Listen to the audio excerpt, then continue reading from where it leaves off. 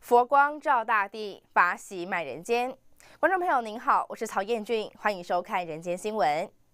新闻一开始，先带您关心的是星云大师在日前受邀出席了由杰出华人文化促进会所主办的第二届全球杰出华人奖的颁奖典礼，而主办单位也颁赠了终身成就奖给星云大师，肯定大师以慈善弘扬佛法，并将佛法落实人间化的理念。这对于整个华人世界来说，有着无比的贡献。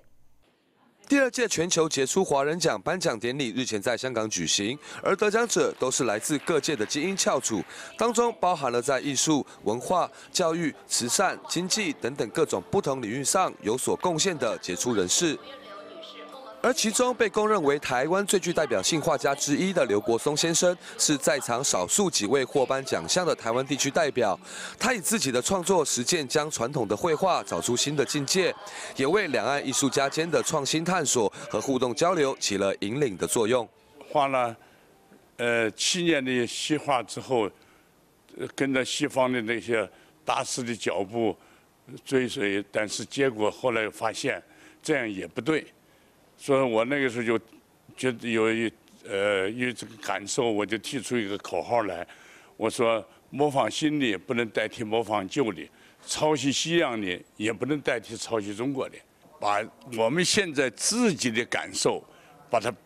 老老实实的表现出来，不要再去把古人的感受拿来做当成自己的感受，这样的话，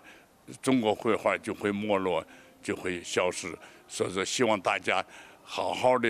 呃创作。而星云大师这次也应邀出席典礼，并获颁全球华人终身成就奖，肯定大师对于发扬中华文化及弘扬人间佛教的贡献。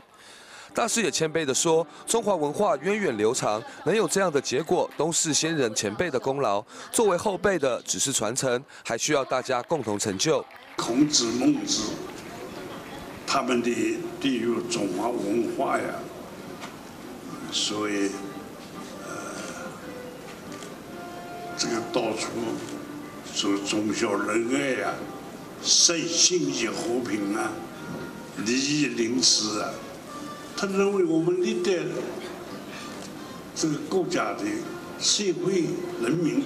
奉行的法律、奉行的道德的根本。所以，中华文化一面是维护了。我们的传统一面呢，又在把它传播到世界